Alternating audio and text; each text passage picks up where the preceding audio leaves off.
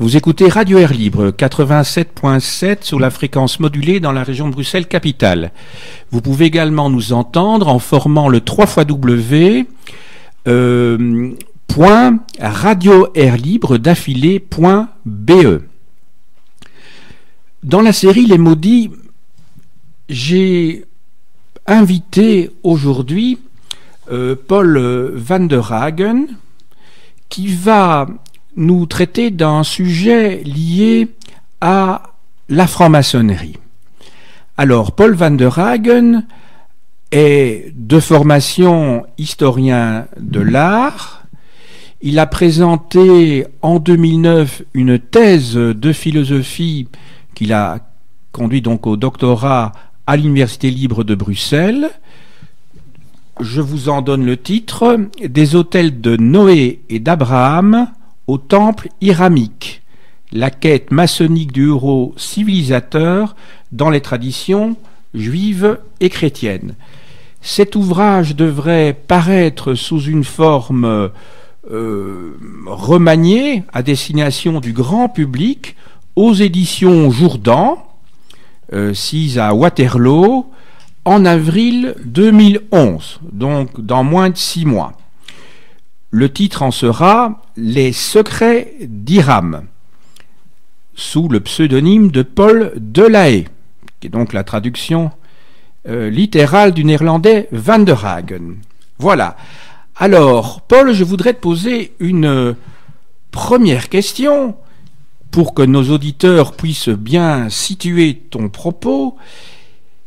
C'est de nous dire un petit peu euh, mais quelles sont les origines de la franc-maçonnerie? Tout ça pour recontextualiser euh, le sujet de ce soir. Eh bien, tout d'abord, euh, bonjour Jean-Michel et merci de m'avoir invité. Et pour répondre à cette première question, quelles sont les origines de la franc-maçonnerie? On peut les imaginer diverses, mais j'ai rattaché mon propos à la seule franc-maçonnerie spéculative, c'est-à-dire la maçonnerie qui naît en un lieu précis, en un moment précis. Euh, ce lieu précis et ce moment précis, c'est Londres, c'est 1717, c'est plus précisément encore le 24 juin 1717. Alors, en fait, nous sommes dans une taverne. Euh, vous savez que l'Angleterre est coutumière à la fois des clubs, à la fois des réunions dans les tavernes, et donc dans les tavernes anglaises, dans les pubs, se réunissaient différents groupes, différents clubs, et qui avaient l'intention de, de, de créer quelque chose.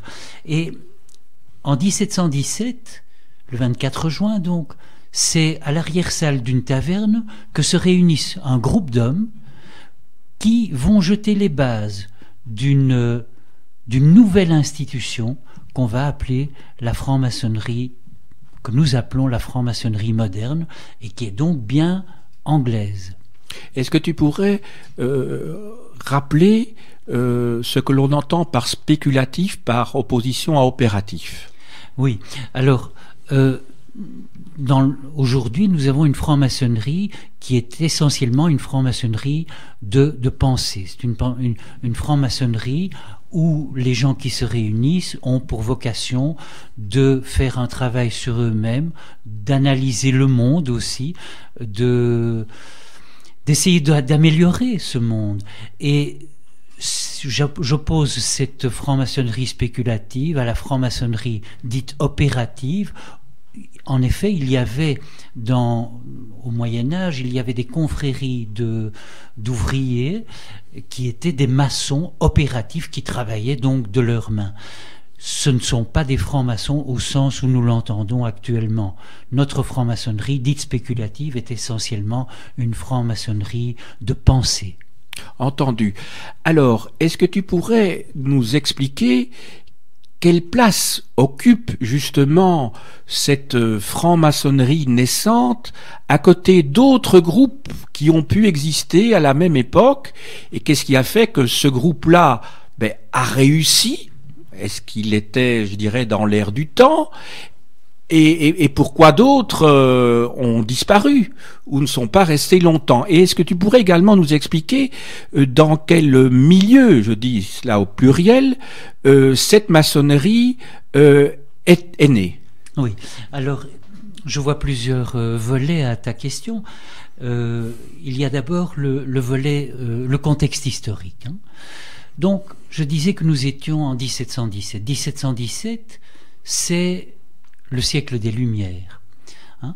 C'est le siècle, dirais-je, où un peu partout en Europe, il y a non pas une disparition de l'idée de Dieu, certainement pas.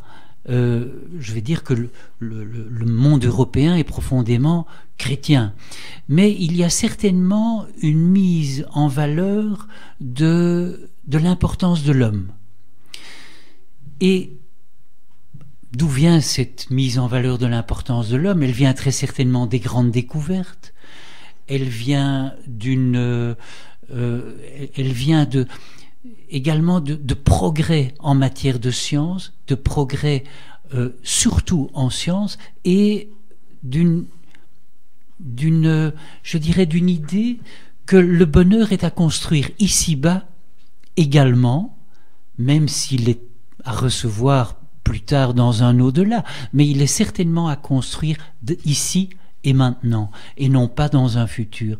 Et ces idées-là, ce sont, des, ce sont les grandes découvertes, ce sont les, les progrès scientifiques qui ont amené cela, mais aussi des philosophes. Hein.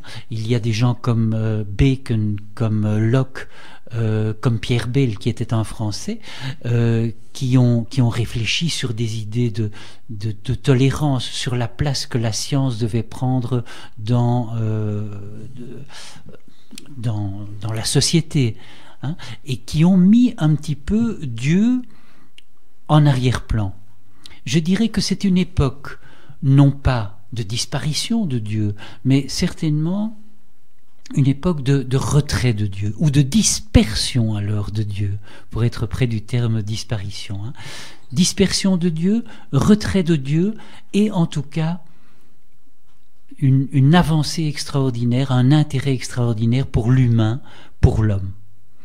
Et donc voilà le contexte, je vais dire, le contexte dans lequel naît, euh, la franc-maçonnerie.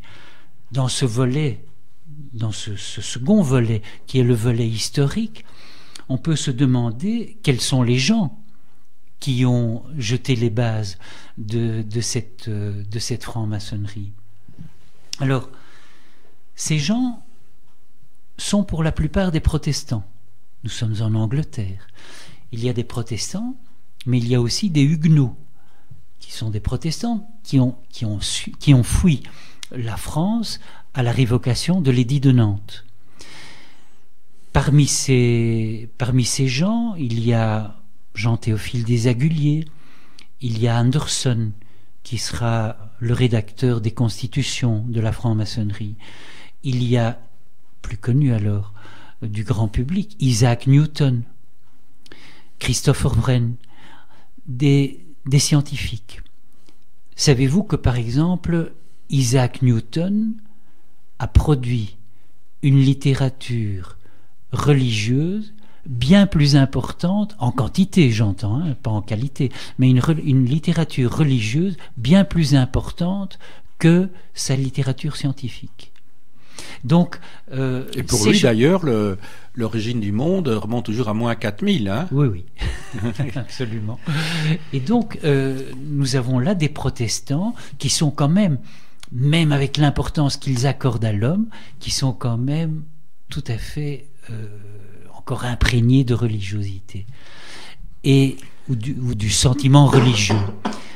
Et donc le troisième volet de ta question était le, le fait de savoir ce qui avait euh, motivé l'intérêt euh, pour, pour, pour ce sujet. Eh bien, c'est le fait que cette franc-maçonnerie dont on va jeter les bases à cette époque-là, est une franc-maçonnerie qui naît dans un espace religieux. Ces gens sont des protestants et ils vont aller tout naturellement vers des textes qu'ils connaissent. Vers la Bible, non Mais évidemment, ils vont aller vers la Bible pour assurer le succès de l'entreprise. Et donc leur légitimité aussi. Et donc leur légitimité également. Parce qu'il est évident que euh, à cette époque, il y a toute une série d'autres clubs qui se créent, des clubs de chocolatiers, des clubs de d'historiens, euh, des gens qui s'intéressent euh, à l'Antiquité, des gens qui s'intéressent aux druides. Et parmi ces clubs, il y en a qui vont réussir. Le druidisme existe encore. Hein. Winston Churchill en était membre. Hein. Euh, les antiquarians existent encore aussi. Mais à côté de cela, il y a toute une série de clubs appelons ça club, appelons ça association, comme on voudra, mais il y a toute une série d'associations, de, clubs qui disparaissent, qui périclitent, et la maçonnerie, en l'espace de quelques années, va réussir. Elle va réussir et elle va s'aimer vers, vers le continent.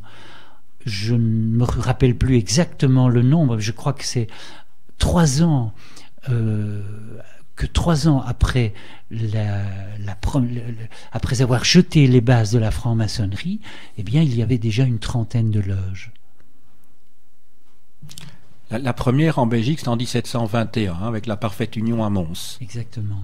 Voilà. Euh, d'ailleurs, parmi les, groupes que tu cites, il y en a un qui aura un certain succès euh, au début du 19e siècle, ce sont les charbonniers, les carbonari. Les carbonari. Voilà. Alors maintenant, ce serait peut-être intéressant que tu nous expliques par quel biais tu as abordé ta recherche, et j'ai oublié de dire tout à l'heure que tu as exposé le, fruit de tes investigations l'an dernier euh, pendant euh, une année académique à l'Université de Bruxelles dans le cadre d'un cours qui s'intitulait Humanisme et franc-maçonnerie, sauf erreur de ma part. Hein. Donc, il y a des auditeurs qui ont eu bien beaucoup de chance d'entendre dans le détail alors euh, le, le, détail de ton argumentation et de tes recherches. Alors, oui, je dois à la vérité de dire que ce cours que, que j'ai donné à, l'université euh, était, je l'ai fait en tant que remplaçant. Oui, mais il n'empêche de, mon ah. ami euh, Baudouin de Un chercheur ou un savant n'a pas à, se justifier d'un point de vue purement institutionnel. Hein, on est voilà ce soit tout à fait clair. Donc, ce serait intéressant maintenant que tu expliques, euh, je dirais, euh, quels ont été les, les différents points d'appui Hein, et j'ai bien compris qu'il y en avait sept. Euh, sauf à ma part, à moins que tu comptais euh, peut-être parler d'autre chose préalablement. Non, nous, avons parlé précédemment des origines et peut-être peut-être serait-il bon pour euh, pour l'auditeur de, de situer un petit peu mieux les, origines alors de, de la franc-maçonnerie. Ah mais voilà, donc tu hein comptes voilà. Oui, parce que je crois qu'il y a deux deux, filières si je puis dire. Oui, oui. Donc pour en revenir une petite seconde au contexte historique, euh, ce que j'aimerais encore dire, c'est que l'homme devenait tout à coup un sujet et n'était plus un objet. L'homme devenait un sujet pensant et n'était plus un simple objet. Euh, au moment où ces quatre, euh, oui, je n'ai pas encore parlé de ça. En fait, j'ai dit que les francs-maçons ou plutôt les, désaguliers, Anderson, quelques autres, Newton, jettent les, les bases de la franc-maçonnerie, euh, au moment où ils se réunissent, en fait, d'autres loges se réunissaient déjà ailleurs.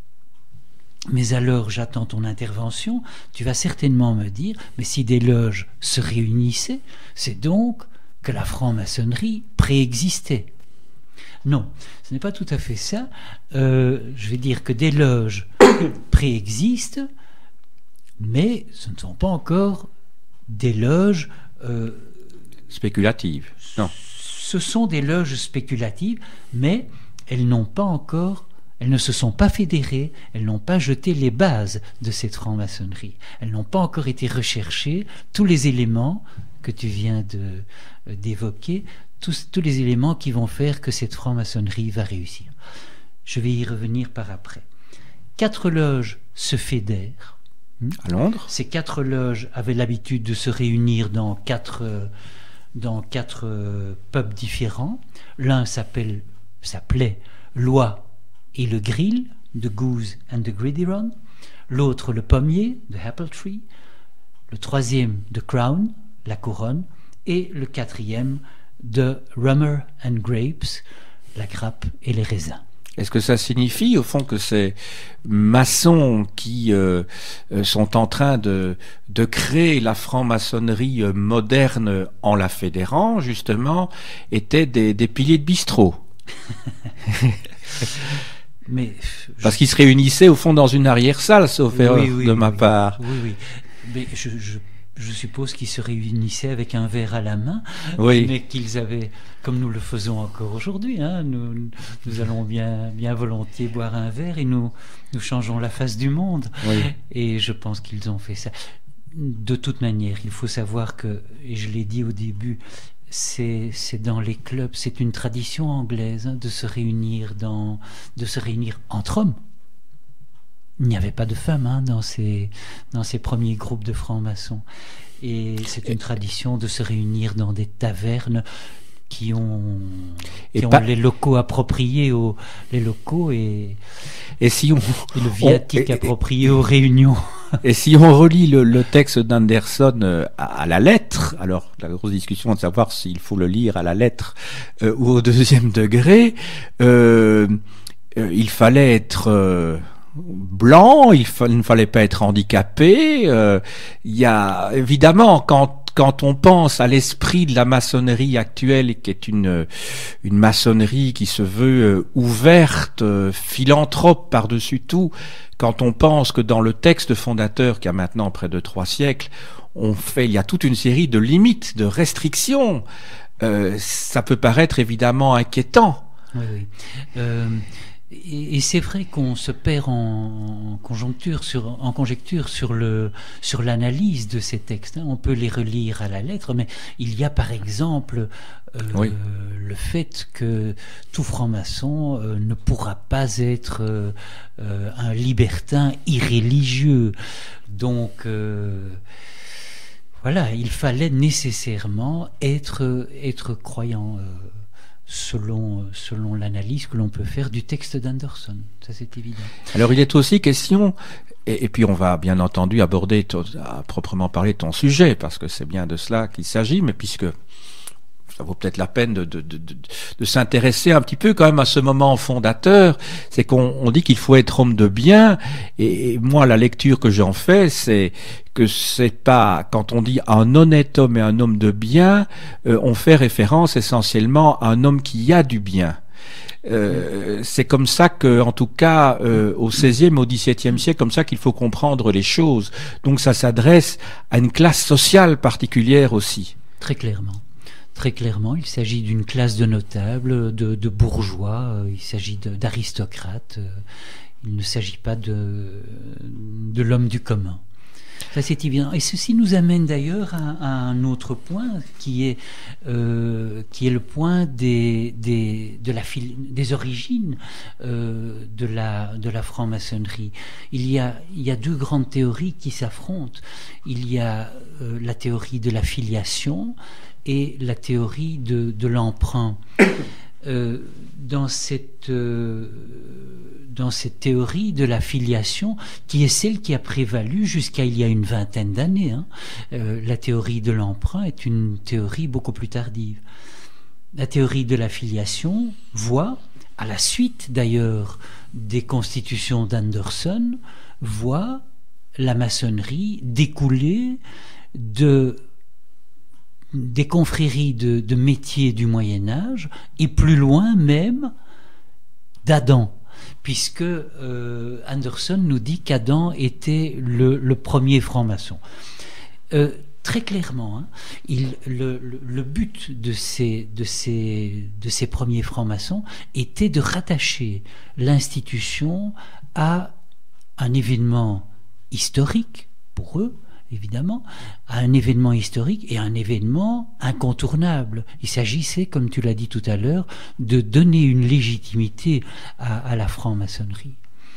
Et donc, dans, dans, ces corporations euh, du, Moyen Âge, euh, il y avait euh, des, apprentis, il y avait des, compagnons, il y avait des maîtres, et, cela aussi, très certainement, euh, donnait l'idée aux maçons de, diviser en quelque sorte leur, euh, institution en grades, grades de alors, la vérité m'oblige à dire que en 1717, il n'y avait que deux grades, le grade d'apprenti et le grade de compagnon. Mais l'homme étant ce qu'il est, et l'orgueil de l'homme étant surtout ce qu'il est, il a très vite fallu inventer un grade supplémentaire, et puis qui était le grade de maître, et puis il a fallu inventer d'autres grades encore qui sont les hauts grades. Voilà, donc ça c'est pour la, théorie de la filiation. Donc pendant très longtemps, on a cru en tout cas, non pas que le premier maçon était euh, Adam, mais en tout cas, jusqu'à ces 20 dernières années, on a cru que la... Et on le croit encore aujourd'hui, certains sont encore persuadés que la franc-maçonnerie est née de ces corporations du Moyen Âge. Corporations de métiers qui, euh, vers le XVe siècle, avaient fini par par diminuer en... Enfin, ils avaient perdu euh, de, leur, efficacité. Il n'y avait plus de grands chantiers, il n'y avait plus de cathédrales, il n'y avait plus de, de châteaux à construire. Et donc, ces gens avaient perdu du travail, tout simplement. Et on a cru, et on a cru que ils avaient intégré dans leur loge des nobles, des bourgeois, des gens qui étaient capables d'apporter comme tu l'as dit tout à l'heure, des biens. On s'est aperçu ces 20 dernières années qu'effectivement, il y avait certainement eu, et en tout cas en Écosse, dès 1600, il y a des nobles, et je, cite notamment John Boswell, euh, qui était seigneur d'Auchinleck, hein, qui a été reçu en 1600 dans une loge écossaise. Mais il y est venu une fois, il n'y est pas retourné.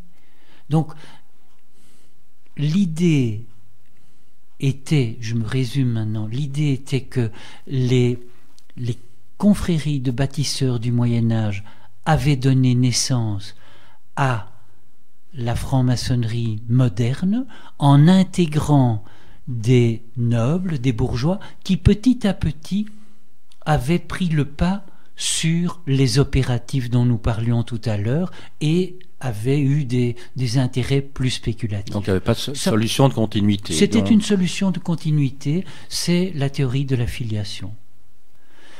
On s'est aperçu aujourd'hui à la lumière de ce que je viens de, te dire, c'est-à-dire que par exemple un, homme comme Boswell, par exemple, est allé une fois dans, dans sa loge.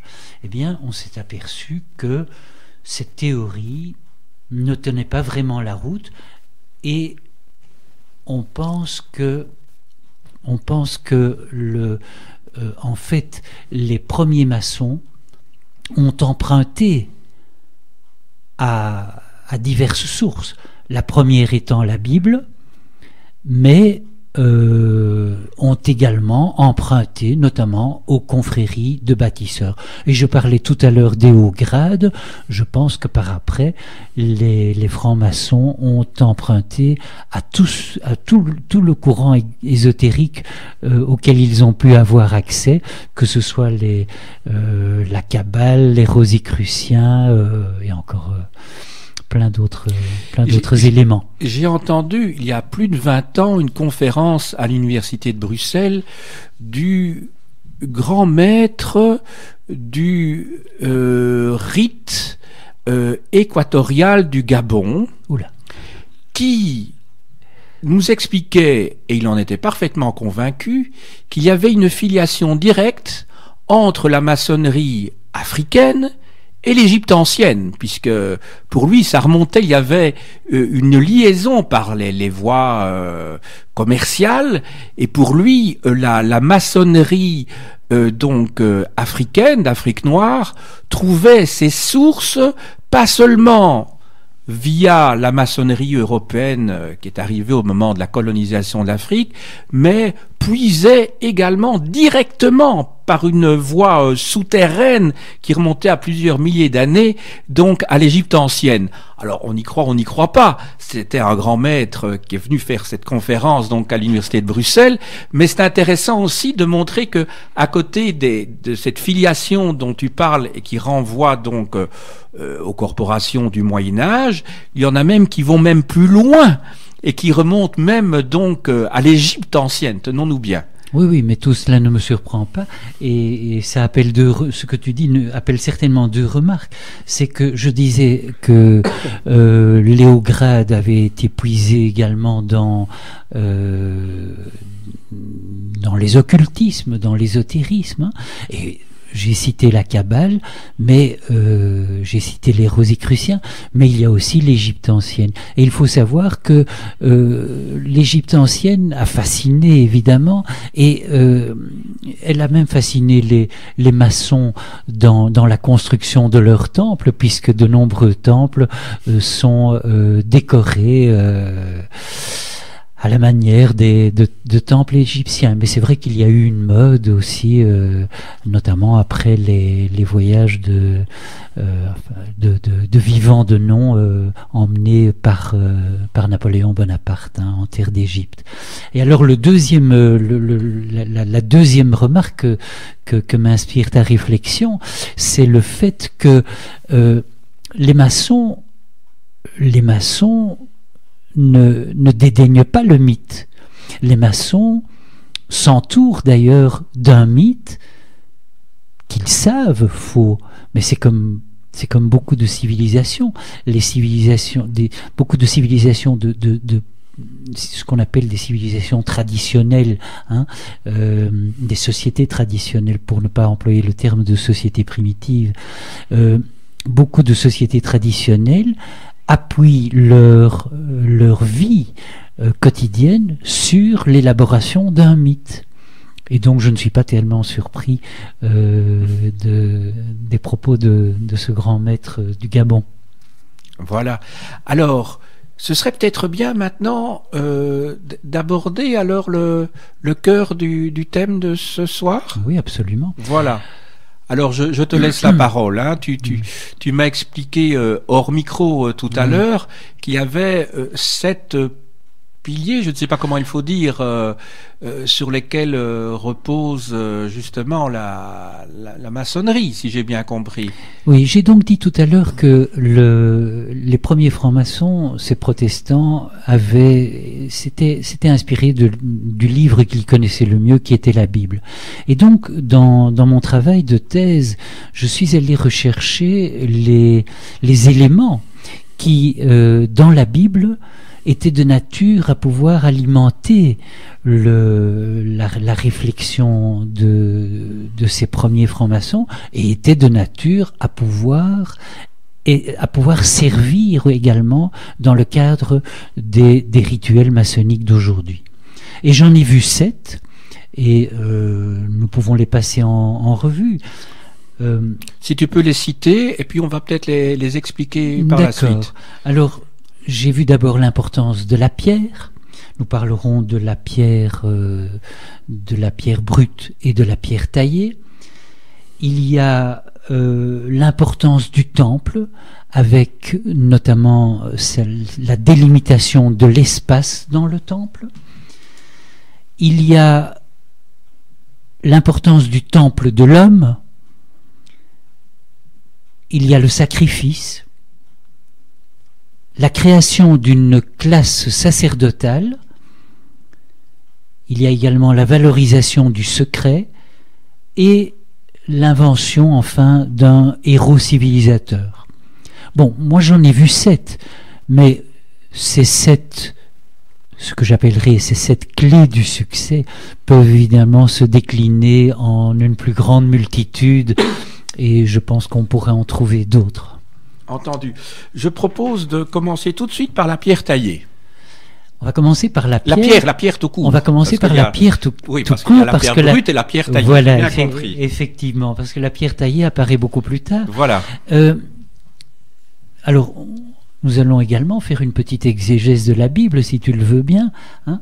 Euh, la pierre euh, taillée, la pierre brute, pardon, euh, apparaît pour la première fois dans, avec Noé. C'est-à-dire que euh, Noé, mais de, manière assez succincte, donc je n'en parle pas beaucoup, mais disons que c'est là que j'ai vu pour la première fois le, le, terme autel. C'est-à-dire que Noé est invité par Dieu à construire un autel c'est-à-dire un amas de pierres. Ça pourrait, ce n'est pas précisé encore à ce moment-là. Ça pourrait également être un amas de terre, mais c'est un, c'est, donc une, une butte sur laquelle il va sacrifier. Il va sacrifier en l'honneur de Dieu. C'est important parce que on reviendra au sacrifice par après, si tu veux bien. Mais d'une manière un peu plus précise, euh, les premiers autels apparaissent avec Abraham. Abraham, c'est un pasteur. Il amène, c'est un, semi-nomade. Il amène ses, troupeaux et son peuple euh, vers, euh, vers des endroits où il peut trouver des pâturages. Et à chaque endroit où il s'arrête et où il reste un certain temps, il bâtit un autel. C'est-à-dire qu'il met quelques pierres les unes sur les autres et il invoque le nom de Dieu. Et il faut comprendre que là où est l'autel est Dieu. Donc là où Abraham va construire un autel ou reconstruire un autel au gré de sa pérégrination, il revient parfois sur les lieux où il est déjà passé. Là où il va reconstruire ou construire un autel, là est également la présence divine. Avec Moïse, on fait de grands bons dans, dans la Bible. Hein. Avec Moïse, euh, on voit apparaître euh, une notion un peu plus subtile parce que Dieu dit à, dit Moïse, euh, construis-moi un autel, mais ne le construis pas en pierre taillée, car le bruit du métal sur, sur la pierre m'offenserait. Construis-le en pierre brute. Il ajoute encore, et ça c'est un, un aspect un petit peu euh, amusant, dirais-je. Si tu montes à l'hôtel, pense à couvrir ta nudité. Donc, euh, pense à te couvrir. Hein. Voilà. Et donc, très clairement, ce qu'il faut comprendre, c'est que la Bible privilégie la pierre brute au détriment de la pierre taillée. Or, que voit-on? C'est que vers 900 avant Jésus-Christ, quand Salomon va construire le temple de Jérusalem, hmm, il va le faire évidemment en pierre taillée. Mais bon, soyons logiques, il y a là quelque chose qui est de l'ordre du, de l'ordre du matériel. Il est impossible de construire du bon sens, oui. du bon sens. Il est impossible de construire un bâtiment imposant en pierre brute. Donc on le construit en pierre taillée. Mais par exemple, euh, Flavius Joseph, qui est un historien juif du, du premier siècle, nous raconte que les pierres, il nous raconte que les pierres étaient naturellement de bonne dimension. Bon, c'est évidemment euh, tout à fait impensable, mais les, pierres sont arrivées toutes faites, euh, elles sont sorties de la carrière sans devoir être retouchées. Par ailleurs, il parle du second temple. Oui. Par ailleurs, par ailleurs, euh, on. Oui, oui, absolument. Non, excuse-moi, il parle du premier temple, ah. il raconte l'histoire du premier, temple. Il raconte ah l'histoire du temple de Salomon et des pierres qui étaient, euh, qui sont arrivées toutes faites. Ah oui. Euh, par ailleurs, la Bible, elle nous dit que les pierres ont été taillées dans des carrières, mais loin de l'endroit où l'on a construit le temple. Donc il y a une espèce d'accommodement, dirais-je, avec le récit biblique. Mais ça ne doit pas trop, trop nous, nous étonner parce qu'en fait, euh, pour les juifs, euh, ce qui est beaucoup plus important que, que l'orthodoxie proprement dite, c'est l'orthopraxie. Hein, c'est la manière de, de, vivre, de vivre le rituel. Hein, ce n'est pas tant ce qui est écrit que, que la manière dont on le, dont on le fait. Voilà donc, voilà donc la pierre brute qui est valorisée par rapport à la pierre taillée et, euh, et, les maçons ont très bien intégré cela dans, dans, dans leur rituel, où il y a également une importance qui est donnée à la pierre brute. Et moi, j'ai vu, je l'ai analysé comme tel, mais on pourra le faire autrement, j'ai vu que la pierre brute serait du côté de l'apprenti, l'apprenti qui doit apprendre à dégrossir sa pierre, hein, qui doit apprendre à devenir un bon maçon.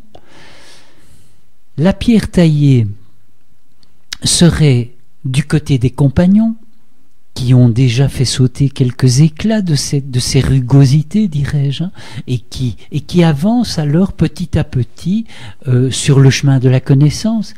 Et vous savez également que, que l'on représente quelquefois euh, la pierre maçonnique comme un cube, un cube rugueux dans le bas, surmonté d'une pyramide qui, elle, est taillée, et le sommet de cette pyramide c'est le pyramidion qui, lui, serait du côté du maître, toujours selon mon analyse, ce pyramidion serait du côté du maître, et le maître serait quelque part en chemin sur ce pyramidion, sans avoir la prétention d'être d'être au-dessus.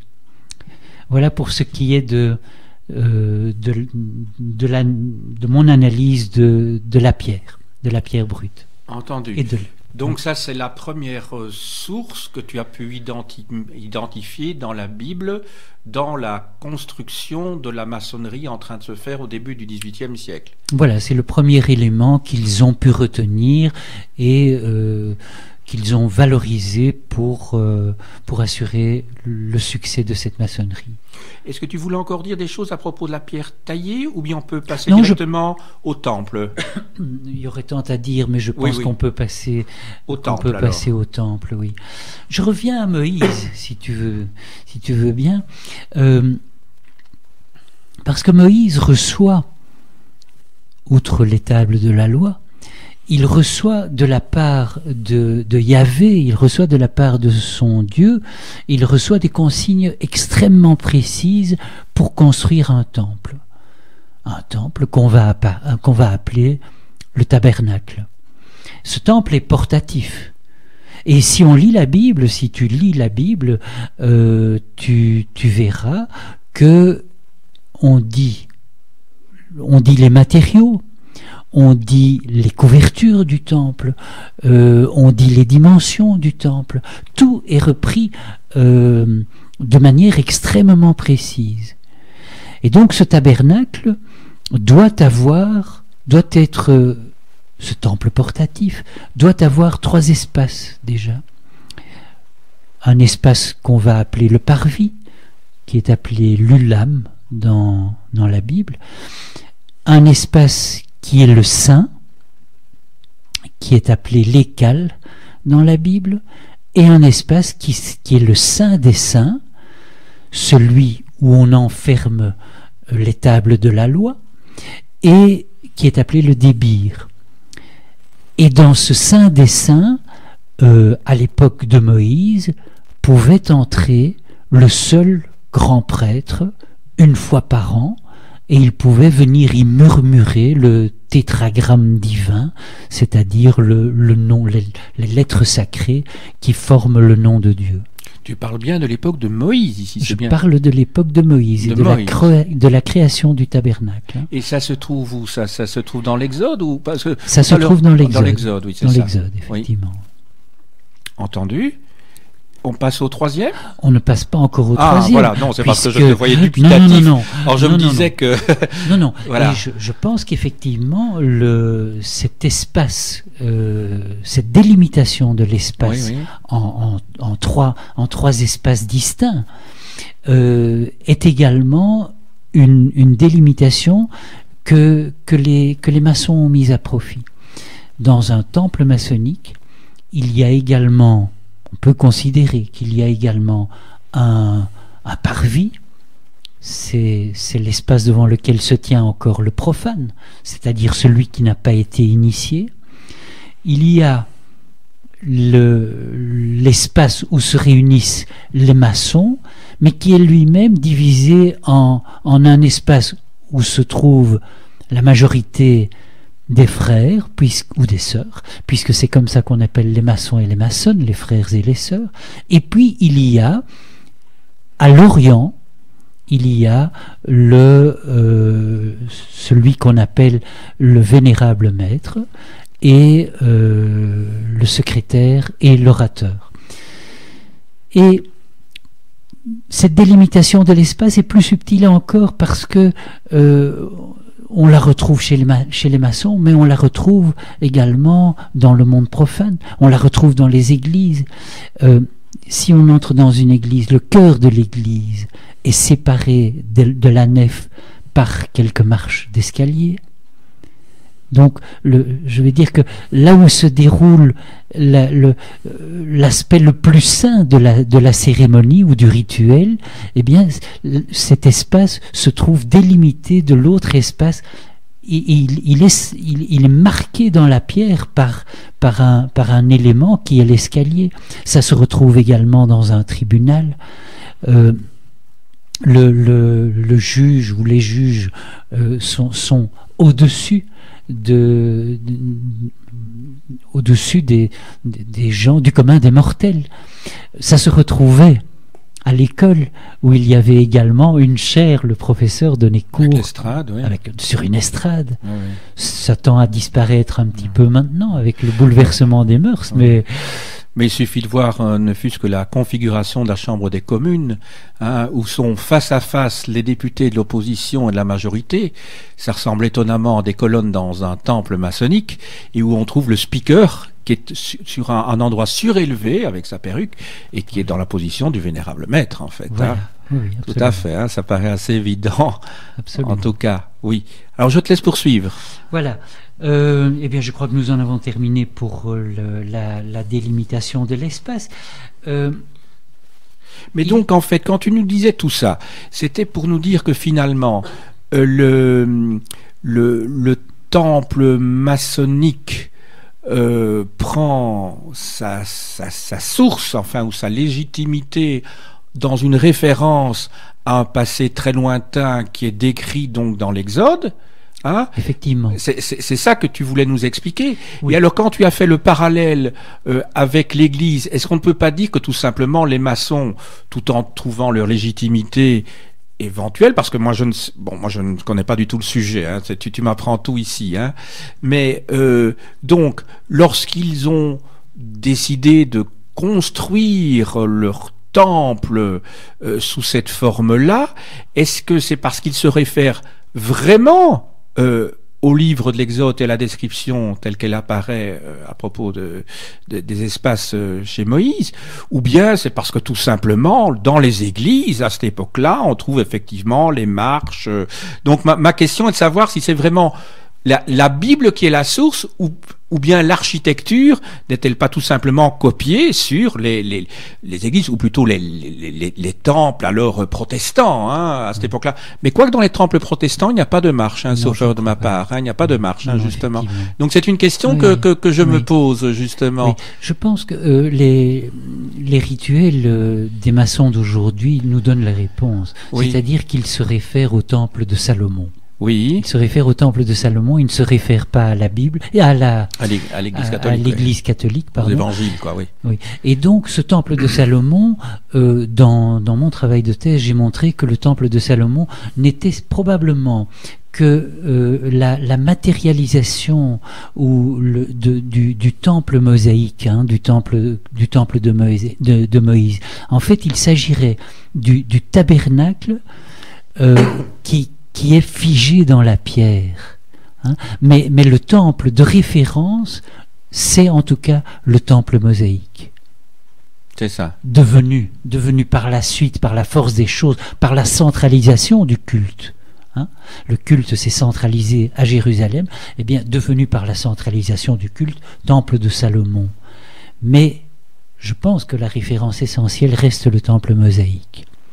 Et donc pour, euh, pour les maçons, cette référence serait le temple de Salomon et au-delà le temple de, le temple de Moïse. Quand, quand, tu étais en train de parler, je me posais une question. Euh, dont, dont, le sujet peut paraître peut-être un petit peu trivial, mais au fond, euh, quand on parle de pavés mosaïques justement dans un temple de maçon, on, ça a l'air d'être évident que c'est parce qu'il s'agit euh, d'un parquet ou, de, dalles euh, en, avec des en, noir et en blanc, mais est-ce que ça ne fait pas référence ou simplement ce, ce, cet adjectif de mosaïque? Est-ce que ça ne renverrait pas, sans que les maçons s'en rendent compte, pour certains en tout cas, tout simplement, euh, euh cela ferait pas référence directement à Moïse et que ça n'a rien à voir avec une mosaïque, tout simplement, comme on pourrait le penser à première vue. Parce qu'il y a parfois des, des, mots qui sont utilisés justement et qui, à l'analyse, quand on voit d'où ils viennent, révèlent parfois des, des, des vérités euh, cachées. Euh, je me pose euh, la question en t'entendant, mais ceci dit, euh, c'est une réflexion qui m'est venue à l'esprit euh, et que je renierai peut-être dans dix minutes en réfléchissant à ce que je dis et qui n'a peut-être pas beaucoup de sens quand on voit l'historicité, enfin l'origine justement de ce pavé en damier. Oui, je me pose la question tout simplement.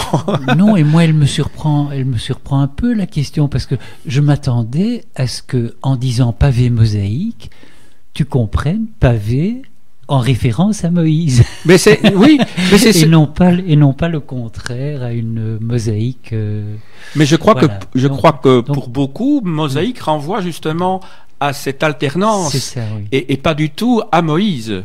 Oui, mais mais enfin bon, ceci dit, euh, on va avancer un petit peu hein, parce que sinon on va. D'accord on risque de, de, se perdre un petit peu dans, dans, dans, des détails au, pour les, les, oreilles des auditeurs. Alors, il y a ensuite le temple de l'homme. On peut aborder ce sujet?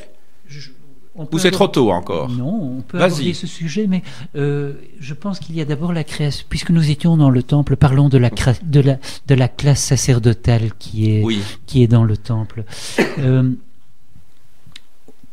nous parlions de Moïse. Ah donc tu, tu inverses les sujets Non, tu en reparleras plus tard. Au moment où Moïse crée le tabernacle, fait construire le tabernacle, euh, Dieu l'invite également, Yahvé l'invite également à désigner une, euh, une classe sacerdotale. En fait, ce n'est pas Moïse qui désigne la classe sacerdotale, c'est Dieu lui-même qui, qui désigne la, tribu de Lévi, et ce sont donc les Lévites qui deviennent les premiers prêtres de, euh, de ce culte rendu à Yahvé. Et alors, euh, il faut considérer que en, en désignant les Lévites, Dieu établit une hiérarchie. Entre les douze tribus Certainement et certainement entre les douze tribus, et également entre les prêtres qui savent, qui détiennent des secrets, des secrets, et les profanes qui ne savent pas. Et c'est un petit peu comme les brahmanes euh, chez les hindous. Absolument. Oui. Absolument. Il y a celui qui sait, qui détient un secret, et qui détient donc également un pouvoir sur les autres.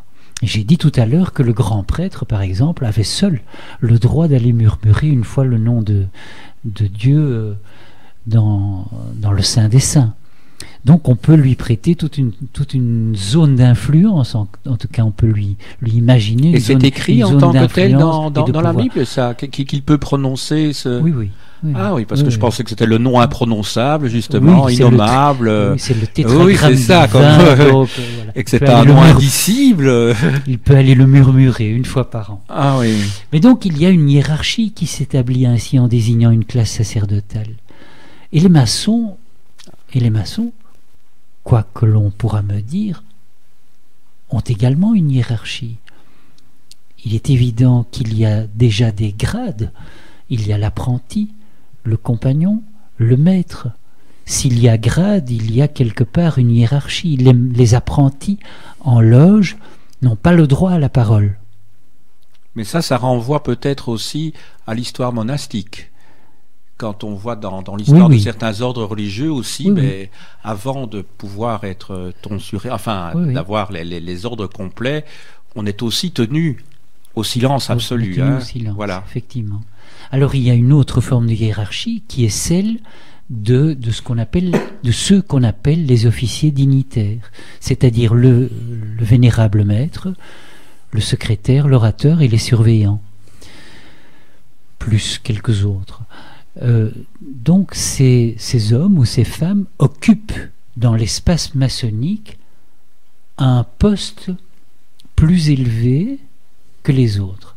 Mais alors il y a quand même quelque chose d'extraordinaire en maçonnerie, c'est que cette hiérarchie n'est pas antidémocratique. Au contraire, c'est une forme de démocratie parce que tout maçon est un jour apprenti, mais peut devenir compagnon. Tout maçon est un jour apprenti, mais peut devenir maître, peut devenir vénérable maître, peut devenir orateur, surveillant, etc. Et un maître restera apprenti toute sa vie. Et un maître reste apprenti toute sa vie, et un maître et un vénérable maître, après trois ans de vénéralat, ou un orateur après avoir été orateur pendant trois heures, pendant trois ans, pardon, revient. Ça aurait été très démocratique pendant trois heures. revient, revient à son statut de maître après avoir effectué sa charge. Donc il y a là un roulement des fonctions et bien qu'il y ait une hiérarchie, elle est toute temporaire et c'est pour cela qu'on peut dire que la franc-maçonnerie est une institution démocratique.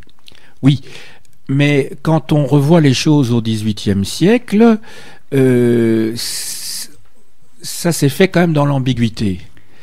Parce que euh, ce sont des, on est, on est, ce sont des, des égaux parmi les égaux, mais il y a ceux qui ne sont pas membres de la confrérie, si je puis dire, enfin pour faire bref, et qui n'ont pas la possibilité de d'avoir un certain nombre de signes distinctifs euh, dont il n'a pas été question ici, ce qu'on appelle des décors en maçonnerie, et qui marquent symboliquement une différence qui à l'origine est profane. Je pense à deux choses en particulier, ce sont les épées. Les épées, en fait, c'était un nivellement par le haut. Il fallait que les maçons soient tous égaux, et c'est comme ça que les bourgeois pourraient être comme les nobles qui seuls avaient droit au port de l'épée dans la société d'Ancien Régime, ont pris ces épées pour être comme les nobles. Et donc seuls les, seuls les bourgeois peuvent porter l'épée en loge, mais dès qu'ils sortaient de la loge, ils n'avaient plus droit au port de l'épée. Donc on était égaux aux autres dans l'espace que tu décrivais tout à l'heure. Il y a un autre élément qui prouve un nivellement par le haut, c'est le port du cordon bleu. Alors, ce port du cordon bleu était la décoration la plus élevée sous l'Ancien Régime, c'était l'ordre du Saint-Esprit. Et donc, seul c'est un petit peu l'équivalent de l'ordre de la jarretière. Donc il n'y avait que les très, les nobles de très très haute catégorie, seulement les pères du royaume qui avaient droit à porter justement euh, en oblique sur le poitrail donc euh, ce cordon bleu. Et euh, justement, à partir du moment où l'on était maître, on pouvait porter ce cordon, que l'on soit bourgeois ou noble, ce qui montre nouvellement euh, une fois de plus, cette, euh, comment dirais-je, ce, besoin d'aller vers l'égalité, mais par le haut.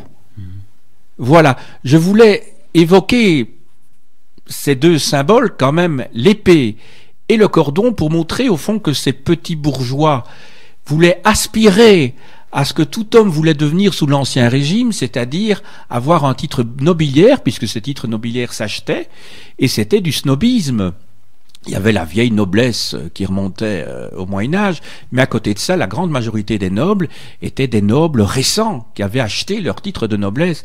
Et au fond, tous ces petits bourgeois ou ces bourgeois moyens n'aspiraient qu'à une chose, c'est d'avoir effectivement euh, leur plume euh, sur leur chapeau. Mais étant entendu que dès qu'il sortait de la loge, la distinction entre nobles et bourgeois était rétablie.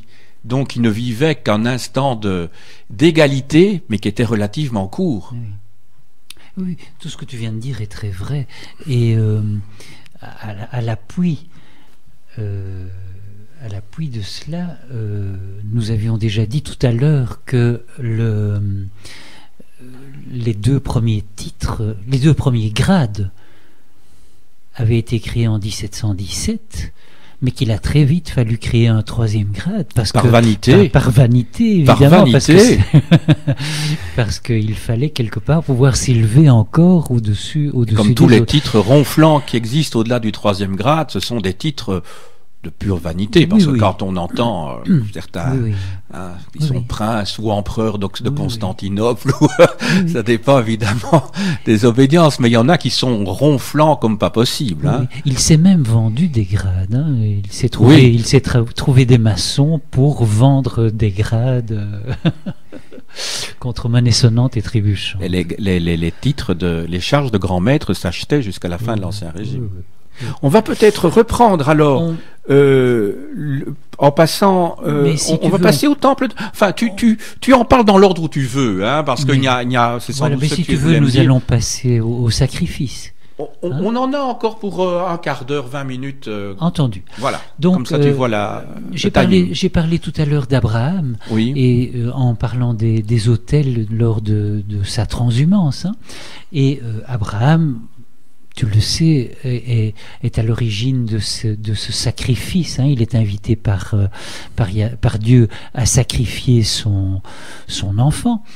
Et puis, euh, on sait la suite de l'histoire. hein. Euh, Isaac est remplacé par, par un bélier. Donc, Abraham conclut avec, avec Dieu une alliance particulière hein, et il va être invité à sacrifier quotidiennement des animaux purs. Alors, tu vas me dire, oui, mais en, maçonnerie, il n'y a pas de sacrifice. Moi, j'en vois un. J'en vois très clairement un. Euh, L'idée de sacrifice, c'est c'est celui que l'on fait de l'homme que l'on était pour devenir autre. Donc en fait, quand, quand un homme ou une femme va entrer en maçonnerie, on dit qu'il va être initié, il va du statut de profane qu'il avait devenir franc-maçon, franc-maçonne. Et donc, lors de cette cérémonie, qui est en fait un rite de passage, l'homme abandonne l'être qu'il était, il sacrifie Le vieil l'être, oui. il sacrifie le vieil homme, il sacrifie celui qu'il était pour devenir autre. Et Mais- donc je vois là cette, ce rapport au sacrifice euh, qu'on trouvait déjà dans la Bible avec Abraham. Mais étymologiquement, sacrifier signifie rendre sacré. Oui. Alors, quand tu dis sacrifier le vieil homme, en fait, on se, en, en abandonnant le vieil homme, on se rend soi-même sacré. Donc, on se sacrifie vers un état supérieur et on ne sacrifie pas l'état antérieur. À mes yeux, je veux dire, chronologiquement.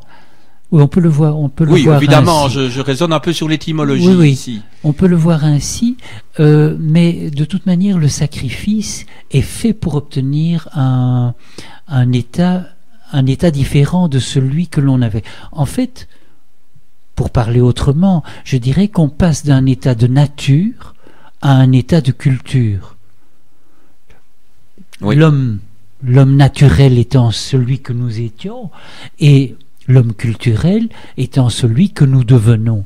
Euh, pour, euh, pour donner un exemple euh, d'état de nature euh, et d'état de culture hein, euh, qui ressort alors au, domaine de l'an- de l'anthropologie, naturellement,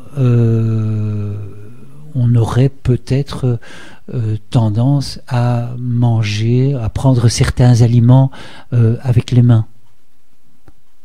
Mais il est évident que quand nous sommes en société, on va s'interdire euh, ce geste parce que on serait vu d'une manière différente Dans, par- notre, dans, dans- notre culture. dans notre oui, culture. oui. C'est évident qu'il faut euh, mettre ça en rapport avec l'époque où l'on vit et le lieu où Oui. l'on vit.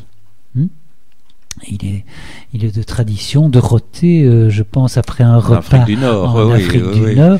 Euh, je ne nous vois pas faire cela ici sans, sans être euh, l'objet de, de la désapprobation sociale de notre entourage. Donc ça, c'est un passage, j'abrège très fort parce qu'on pourrait développer ce, ce thème du passage de l'état de nature à l'état à l'état de culture. hein. Il a été euh, fort développé par euh, Marie Douglas, notamment. Et, Voilà, ça renvoie est- peut-être d'ailleurs au, au dernier thème, euh, celui du héros civilisateur. Non, la notion de Non. civilisation de culture. Parce que pour moi, c'est lié. euh, passer de l'état de nature à l'état de culture. Et, et- et alors le thème, je ne sais pas comment tu vas le développer puisque j'ai pas lu ta thèse. Hein. Euh, Je, suis honnête. je vais y venir Tu- après. tu vas si y venir, mais est-ce qu'il n'y a pas un lien? Oh, certainement. oui, voilà. certainement. Alors je te laisse Euh, poursuivre. Nous en venons, si tu veux bien, au secret. Au secret, oui. hein, au secret. Alors, euh, est-ce que, est-ce que dans, dans la Bible, certaines personnes détenaient des secrets? Mais oui, je viens de dire que le, le grand prêtre détenait un secret. hein? Donc, euh, les prêtres, en règle générale, détiennent un secret, détiennent donc un pouvoir. Le, est-ce qu'il y a des secrets en maçonnerie? Ah, certainement. hein. C'est ce qui a valu aux, aux francs-maçons d'être euh, mis au banc de l'Église, d'être excommuniés aussi, et, Et En- d'être perçu comme une menace. et euh, d'être perçus comme une menace, évidemment, hein, d'être persécutés durant, durant les guerres, durant la dernière guerre notamment. Euh, mais est-ce qu'il y a un véritable secret? Je ne crois pas. Il n'y a pas de secret. Ou du moins, pas celui que l'on pense. Je crois qu'en maçonnerie, il y aurait euh, trois formes de secret. Le, le premier secret étant celui d'appartenance. Oh, Celui d'appartenance. Si je suis franc-maçon, je peux dire que je suis franc-maçon. Ça n'engage que moi. Mais je ne peux, par exemple, pas dire que mon voisin est franc-maçon. Je ne peux pas désigner quelqu'un d'autre. C'est le secret d'appartenance. Donc le franc-maçon a droit de se déclarer maçon lui-même, et ça s'arrête là. Le deuxième secret, c'est le secret des, de ce qui se passe en loge, c'est-à-dire le secret du rituel, de la manière dont se passe par exemple une initiation, mais également le secret des, des conversations que l'on a en loge, le secret des thèmes qui sont abordés et le secret de ce qui a été dit. Et tout ça se justifie d'ailleurs. Et tout ça se justifie, oui. Et le troisième secret, eh bien, je crois que c'est probablement le plus important, c'est le secret de son vécu, de son ressenti personnel par rapport aux initiations successives. La première initiation pour devenir apprenti, la deuxième pour devenir compagnon et la troisième pour devenir euh, maître. Ces initiations qui ne s'appellent d'ailleurs pas comme ça. La première s'appelant initiation, la deuxième c'est L'augmentation de salaire. ah, une augmentation de salaire, c'est le passage à un grade euh, supérieur. Donc, quand on devient euh, compagnon, on a une augmentation de salaire. Et, euh, et la troisième augmentation de salaire s'appelle une élévation pour devenir euh, La maître. deuxième. hein, puisqu'il y a deux. Pour devenir compagnon, c'est elle m'échappe, mais Non, mais c'est l'augmentation de salaire pour les zélés compagnons et puis l'élévation, l'exaltation voilà. pour la maîtrise. voilà. voilà pour ce qui est du euh, euh, du secret en, en maçonnerie. hein. Et donc ça, ça, il y a un lien. de- Donc on, on trouve des éléments à nouveau dans les textes bibliques Oui. euh, qui font référence à ça, puisque c'est ça le sujet de ton propos. Oui, c'est chaque fois la référence à un texte qui aurait été repris alors par les maçons au XVIIIe siècle. Non pas un texte, mais, Ou des textes, un enfin, ensemble de textes Oui. à des valeurs certainement qui sont qui sont véhiculées dans la Bible et qui sont non seulement dans l'Ancien Testament, mais qui sont également dans le Nouveau Testament. Oui. Par exemple, pour le secret, euh, quand Jésus euh, guérit euh, un paralytique, il y a toute une foule qui est là, et puis il dit surtout ne le répétez à personne. Gardez le secret, dit-il en d'autres termes. Oui, Mais- oui. mais donc il ne veut pas que ça se sache. C'est peut-être aussi une manière de dire que la parole Oui. Est génératrice de, de beaucoup de problèmes. La parole est sujet d'interprétation et il vaut peut-être mieux taire les choses que, que de les voir déformées. Voilà pour ce qui est du secret. Oui. Alors, euh, puisque je viens de parler de, de Jésus, parlons de cette dernière clé du succès, hein, qui est celle du, euh, du temple de l'homme, de l'homme euh, pré- précisément. Donc, quand, euh, Jésus meurt euh, sur la croix, euh, eh bien, Jésus meurt en juif. hein. Jésus est juif. Jésus n'est pas chrétien, évidemment. Jésus est un juif. Et c'est Paul de Tarse, Saül, hein, qui va créer de toutes pièces la, la religion chrétienne. Et Saint Paul, Paul, Paul de Tarse, invente la notion de temple de l'homme. Pourquoi fait-il cela? Eh bien parce qu'en 70, le temple, le temple dans lequel Jésus est encore entré, et duquel il a chassé les Juifs, eh bien en 70, ce temple n'existe plus parce que les armées de Titus ont détruit ce temple dans leur guerre contre les Juifs.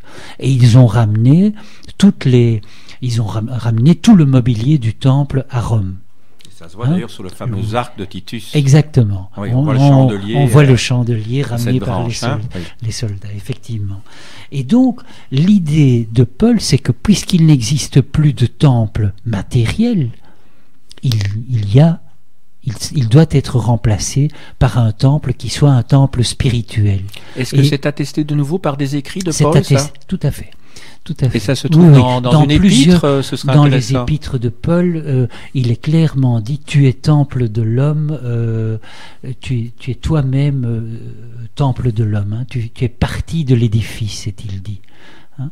Et donc, cette partie de l'édifice, cela rend- les, les maçons se le sont encore une fois appropriés en disant que tout, tout franc-maçon est partie de l'édifice de l'humanité et doit, dans une espèce de, de devoir de rayonnement, contribuer à bâtir cette humanité.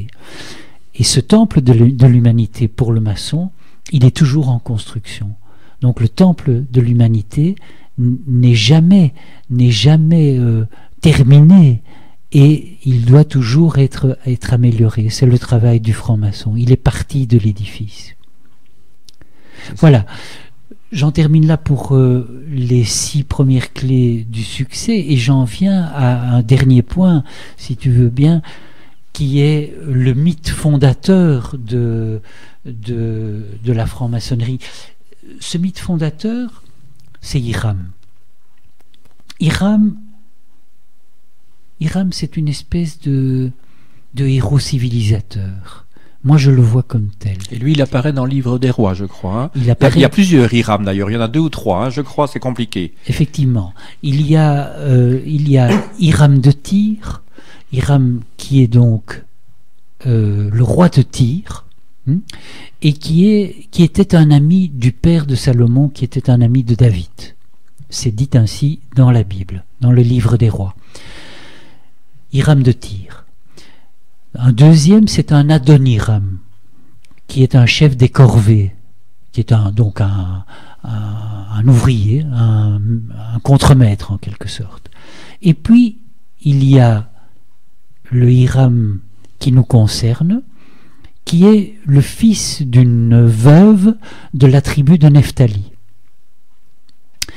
Les, les trois personnages se sont quelquefois un petit peu télescopés. Ce, Mais- ce sont tous les trois des, des- des Phéniciens ou des, Ce non, sont, ce sont tous les trois, aujourd'hui on dirait des, des Libanais des Libanais, hein, Oui, oui. mais de Tyr, ou, Oui, oui, c'est ça. donc des Phéniciens. Euh, mais euh, les, dans la Bible, le, le personnage qui nous concerne est envoyé par le roi Hiram pour venir en aide à Salomon dans la construction de son temple. Mais il n'est pas vu comme un, il n'est pas vu comme un, architecte. Il est vu comme un maître fondeur. Et il y a à peine deux, trois lignes dans la Bible qui nous disent que Hiram est maître fondeur, donc c'est un spécialiste dans la fonte de l'airain. Et, et, rien de plus. Si, je dois à la vérité de dire que chez Flavius Joseph encore, euh, on dit d'Hiram qu'il est prince des architectes. Rien de plus. Mais autour de ce personnage, personnage très, très équivoque, puisqu'on ne sait rien de lui, si ce n'est qu'il est le fils d'une veuve, ce qui le rend d'ailleurs encore plus équivoque, hein, autour de, de ce personnage, les francs-maçons vont créer tout un mythe. Parce qu'un mythe, ça se crée. Et ça se crée vers 1720. C'est un mythe inventé de toutes pièces, comme il existe beaucoup d'autres mythes. Hein, et qui va... Par qui alors? ah, Je pense qu'il a été euh, élaboré par les premiers francs-maçons. Il a fallu, au fond, euh, asseoir son histoire euh, sur un récit mythique. Un récit mythique qui, quelque part, faisait la synthèse de tout ce que je viens de dire précédemment, qui, au fond, assurait une espèce de ciment à, cette histoire. À, cette, à cette création maçonnique. Et puis, je pense de toute manière que les hommes ont besoin de se raconter des histoires et que... Euh, C'est ce qui nous distingue des animaux oui. à mes yeux. C'est ce que je raconte souvent à mes étudiants, c'est que ce qui distingue l'homme de l'animal, c'est qu'il se raconte des histoires. Oui, oui, oui. je te laisse poursuivre. Oui, et, à ce propos-là, euh, je, vais essayer de citer de mémoire un, passage du livre Origine euh, de d'Amin Malouf. Hein, euh, qui dit mon histoire, non, ma vie est adossée à un mythe, une histoire que je sais fausse, mais que je vénère comme si elle était vraie. Et je crois que ça traduit bien ce que je viens de dire, c'est que on, crée un mythe de toute pièce, et, et les francs-maçons savent bien que ce mythe est une histoire inventée, mais ils la vivent comme si cette histoire était vraie et elle leur permet, elle leur permet, dans le cadre de leur rituel, d'accorder de l'importance au secret, à la pierre brute, à la classe sacerdotale et à tout ce que je viens d'énumérer.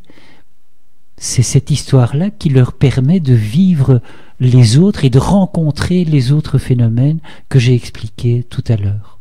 En fait, je crois ce qu'il y a comment dirais-je, donner un, le substrat euh, psychique qui a permis un tel succès, je crois, à ce mythe du meurtre d'Iram, je crois que c'est quand même qu'il renvoie à, quelque chose qui est fondamental dans tout être humain, que Freud a repris d'ailleurs en 1913 dans Totem et Tabou, c'est-à-dire le meurtre du père, lui, dans la préhistoire bien sûr, par, euh, par les fils, et, donc, euh, je crois que Freud a réécrit un autre mythe, hein, mais enfin, euh, mais en, comment dirais-je, en projetant dans le passé, euh, effectivement, quelque chose qui nous concerne plus tous, qui est le complexe d'Édipe, tout simplement, et où le, où le père est assassiné, évidemment, psychiquement.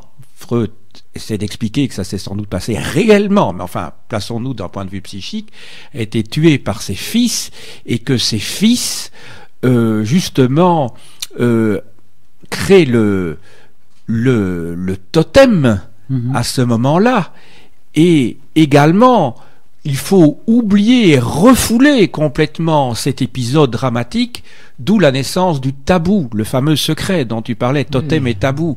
Ah, et, donc je crois que le, génie, quelque part, inconscient de ces maçons qui, vers 1720, ont créé ce mythe, c'est qu'en fait, ils renvoyaient à quelque chose qui nous touche très profondément dans notre histoire personnelle, dans le vécu de chacun. Ce sont les mauvais fils Hein, qui, ont, qui ont tué le père.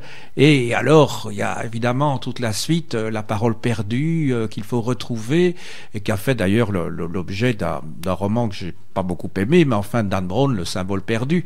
Hein, voilà. Euh, et, et, je crois que c'est ça qui, chez les maçons, enfin je suppose, je ne suis pas dans leur tête, hein, mais fait qu'ils vivent parce que le maçon au moment de, de, cette, de cet épisode particulier dans sa vie que lui revit, il est à la fois le meurtrier l'assassiné, il faut bien le dire. Donc il est dans une position ambivalente au moment où il vit lui-même ce mythe sous la forme d'un rite, justement. Hein, puisqu'il y a actualisation de ce mythe à ce moment précis d'une initiation, c'est que il est, il tue et il est tué en même temps. C'est difficile à expliquer évidemment à, de non-maçons, mais il joue le double rôle. Il est le cadavre et il est l'assassin. Et c'est très évidemment, bon ici je, renvoie plutôt à, comment dirais-je, aux, origines psychiques qui, qui explique selon moi, qui, qui est le support de ce succès à mes yeux, parce que je crois que comme pour tout mythe, il faut qu'il y ait un support psychique pour que certains mythes réussissent, si je puis dire, comme qu'on parle de best-seller, je dirais, en littérature, et d'autres échouent, parce que justement, mmh. ils ne renvoient pas à, à toute une, une constellation psychique euh, aussi riche. Enfin, ça c'est mon interprétation ici, mais je ne suis pas du tout spécialiste de, euh, de, des sources bibliques et l'usage que, que les bassons ont pu en faire euh, sur base de ta lecture. Hein. Oui, je trouve cette ta remarque extrêmement intéressante et, je, pense qu'elle est, elle est très judicieuse, notamment quand tu dis qu'on est à la fois, enfin que le maçon est à la fois euh, l'assassin et, et, la victime. Et la victime. Et je, je, vois là ce que je disais tout à l'heure. Hein. Il s'agit encore une fois du, du, de la notion de sacrifice, mais également, également du passage d'un état de nature à un état de culture aussi. C'est ça. Hein. Euh, donc un, un rite de passage. Mais tout, tout ce que nous avons dit ce soir, je crois que tout ça est, enfin, ce que tu as pu nous expliquer est tellement riche que ça, évidemment, on a sans cesse envie de déborder, de poursuivre sur chacun des, des sept points que tu as évoqués. Malheureusement, nous arrivons à la fin de cette émission, donc il va falloir conclure. Donc, si j'ai bien compris, tu as recherché, euh, à partir des sources bibliques, euh, quels étaient les différents éléments qui vont servir à la construction euh, de ce mythe fondateur qui va légitimer cette institution sociale qu'est la maçonnerie à partir du XVIIIe siècle. Quels sont, et pour terminer, quels sont les, les, les, écrits euh, de, de l'Ancien Testament, précis, plus précisément, parce que tu as parlé également euh, des miracles dans, dans, les évangiles, mais je crois que c'est surtout euh, le, la, la, Torah, en fait, la Bible des Juifs, hein, qui, qui, est la base. Hein, c'est pas la, tellement la Bible euh, des chrétiens, enfin l'évangile. donc, il y a, si j'ai bien compris, il y a, il y a la Genèse, il y a l'Exode. J'ai entendu parler aussi du livre des rois. Quels sont aussi les autres livres? Non, je pense que tu as cherché, que tu as cité essentiellement les, les, les, trois. Hein, voilà, c'est ça, il me semble. Hein. Et donc ça a été, je dirais, tu, tu, tu, as essayé de... de Disons que dans, le, dans le Deutéronome, on retrouve encore des éléments euh, qui, sont, qui, qui, qui sont propres à l'Exode et qui les précisent, mais euh, on peut se contenter de cela. Et sinon, il n'y a pas l'Apocalypse de Jean par hasard euh, Non. Non, pas du tout. C'est une question que je me posais parce que le Verbe s'est fait cher. Enfin, je me posais la question tout simplement. Mais c'est un peu pour te titiller que je pose cette question. Je remercie encore une fois Paul van der Hagen de nous avoir accompagnés pendant euh, toute cette soirée. Et comme à l'habitude, je terminerai mon propos, comme je le fais déjà depuis très longtemps maintenant, par les propos que vous connaissez bien. Le monde est plongé dans les ténèbres. Dans la nuit, les chats noirs hantent la ville. Même dans les ténèbres, dit-on, la lumière brille. Trop souvent, celle de l'enfer du lendemain. J'ai dit compagnon.